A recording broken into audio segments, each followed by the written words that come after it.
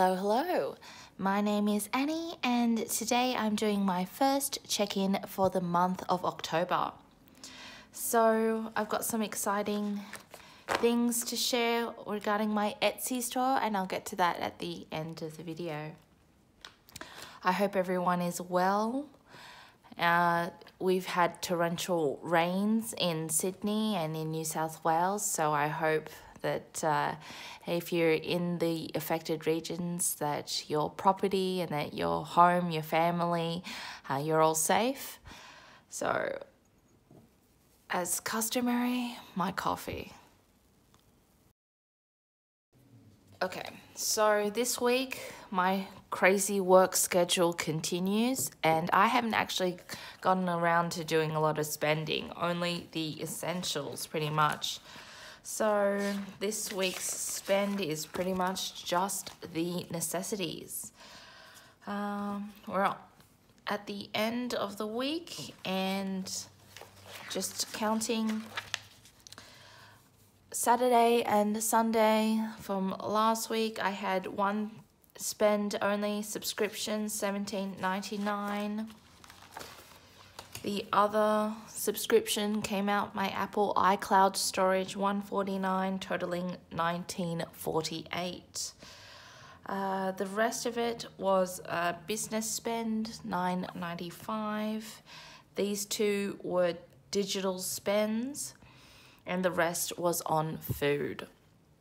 So let's have a look at the wallet.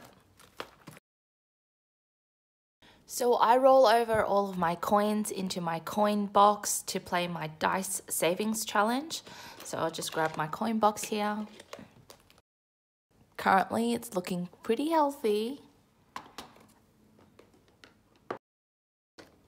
And I'll be rolling the dice uh, my savings challenge video coming up to see how much of this I get to put away in my savings and the rest of it gets put into a spending savings account. Well, not really a savings account, is it?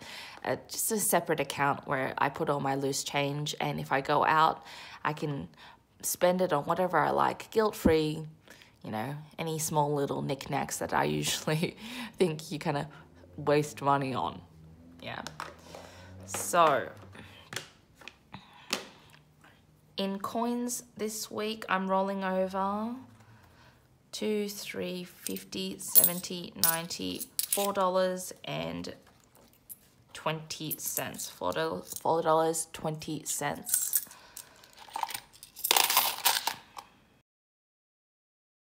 I like to spend my groceries in cash. However, I do keep some of it online in um, digital fund. Uh, so, so far I've spent $130.80 on food this week.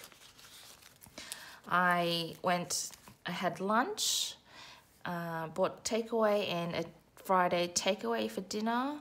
Aldi, $29.95. Coles, $42.25. Aldi again, $19.70. Uh, local grocers, $3.50.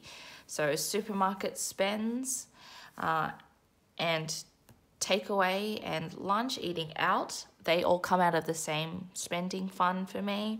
I spent $130.80 on groceries and eating out. Um, and my digital spend was $50. I bought myself more coffee beans because I love me, as you can see, fresh coffee multiple times a day. So let's see how much I have left and how much I'm going to unstuff. I'm just going to call that 135 and plus 50, so 185. Groceries. I started the month with $600 and eating out, and I'm going to check out 50 digitally. And I've got 300 left. 300 50, 70, 90, 410, 15. $415 left for the rest of the month.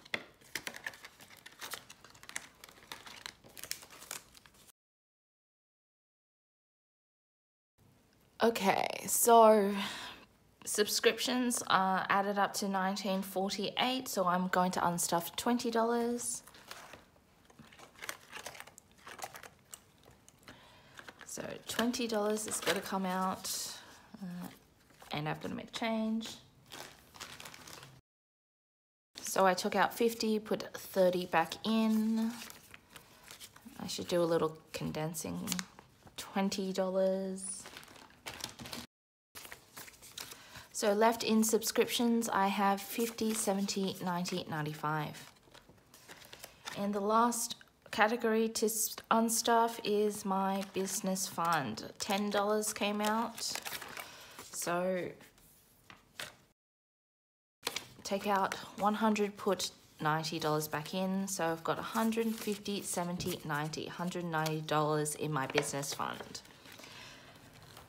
So rolling that over, I roll over the extra cents. I've only got two categories to roll over into my bank rollover fund.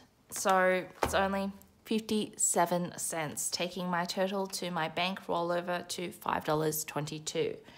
So I'm going to represent this with prop money and slip in $5. I already emptied out this account, uh, my digital rollover account, and I put it into my savings challenge binder to put in the buffer and I will redistribute that in an upcoming video. So that's my spending. Let's calculate what it was for the week. So I spent $210.23 this week. Um, quite a low spend, quite a boring spend.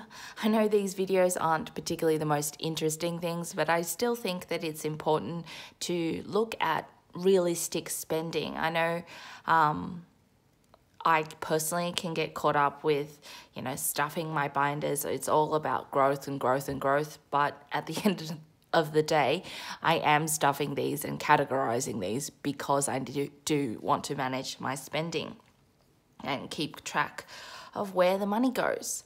So that's it for the spending. Oops. Sorry, just knocked you.